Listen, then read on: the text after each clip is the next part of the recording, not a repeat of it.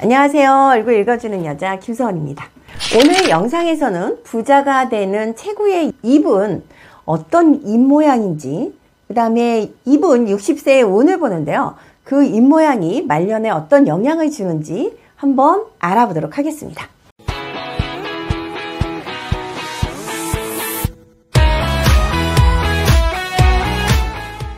눈이 마음의 창이면 입은 마음의 문으로 인상학에서는 입을 바다에 비유하기도 하는데요. 이는 마음이 평온하면 입은 잔잔한 바다와 같은 모습이고 마음이 심란하거나 그러면 거친 파도가 일렁이는 바다처럼 변하기 때문입니다.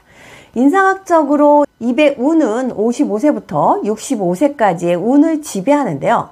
인중이나 팔자주름과 같이 말년의 운세를 알 수도 있습니다. 입의 모양과 색깔이 좋다면 적어도 편안한 노후 생활을 보장할 수가 있는데요.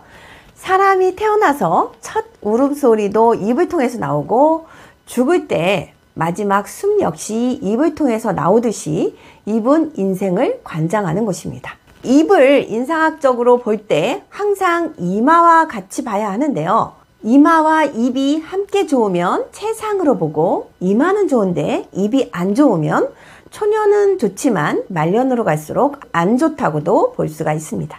또한 이마는 안 좋은데 입이 좋으면 초년은 고생을 해도 나이가 먹을수록 좋아지고 이마와 입 모양이 모두 안 좋다면 평생을 힘들게 살 수가 있습니다.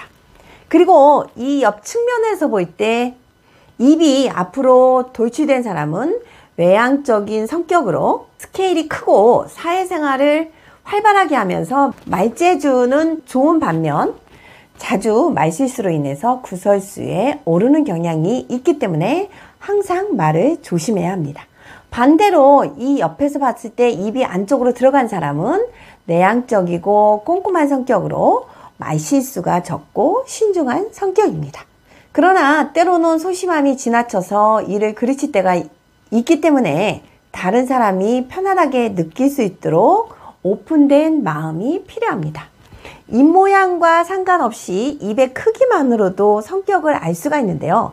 양쪽 눈동자를 중심으로 아래로 선을 그었을 때 선이 닿거나 선보다 크면 큰 입에 해당하고 선의 너비보다 작고 코의 가로폭보다도 작으면 작은 입에 해당합니다.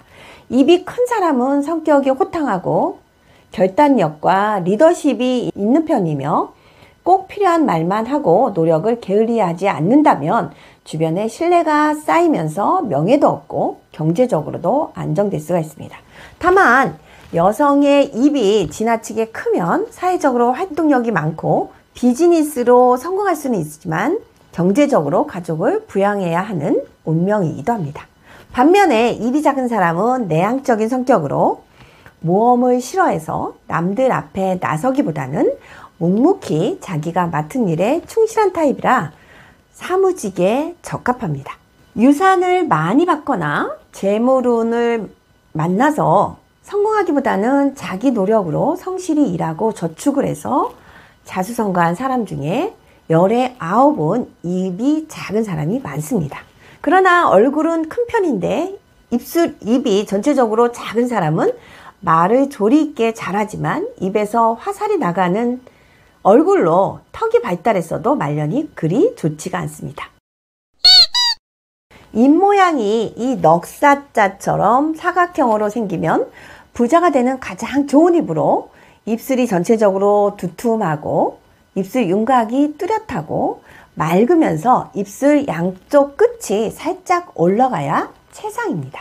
이런 입을 가진 사람은 청명하고 공부도 잘하고 다방면에서 능력을 발휘하기 때문에 부와 명예가 당연히 따르게 됩니다. 네모진 입모양이라고 해도 웃을 때 이가 깨끗하면서 말할 때 어금니가 보이지 않아야 하며 입술이 붉어야 좋고 만약 그렇지 않으면 명예와는 거리가 멀고 그저 먹을 뽕만 있다고 보면 됩니다.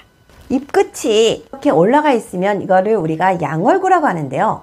이가 희고 붉은 입술이면 아주 좋은데 양쪽 입술 끝만 올라가야지 만약에 입술 전체가 반달 같은 모양으로 올라간다면 양월고에 해당하지 않으니까 주의를 해야 합니다. 이런 입술은 연예인이나 서비스업에 잘 어울리게 됩니다. 인상학에서 윗입술은 하늘이고 아랫입술은 땅으로 보는데 어떤 모양이든 입술의 모양이 뚜렷해야 좋습니다. 특히 윗입술이 윤곽이 뚜렷하면 좋은데요. 입술은 음식과 재물이 드나드는 대문으로 항상 깨끗함을 유지해야 좋은데요. 따라서 입술 윤곽이 흐리거나 지저분할수록 재물운이 빠져나가거나 곤란을 겪게 됩니다. 입술색은 붉은색이 좋으며 립스틱을 바르지 않았는데도 입술이 붉은 사람은 귀하고 평생 재물이 끊이지 않고 입술색이 푸른색이거나 검은색은 좋지 않고 질병을 암시하게 되기 때문에 일시적으로 나타나더라도 조심을 해야 합니다. 여기서 주의할 점은 붉은색과 핑크색을 구별을 해야 되는데요. 그 이유는 핑크색은 도화색으로 매력적으로 보이지만 남녀모수 연예계로 진출하는 경우가 많습니다.